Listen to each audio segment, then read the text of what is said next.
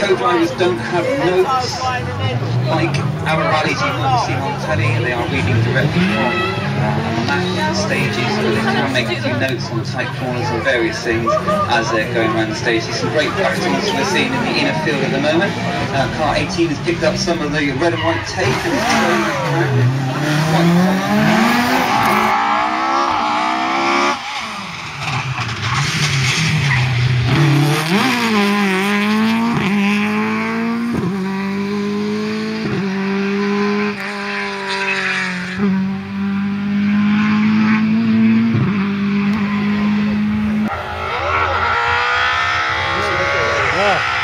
no menino.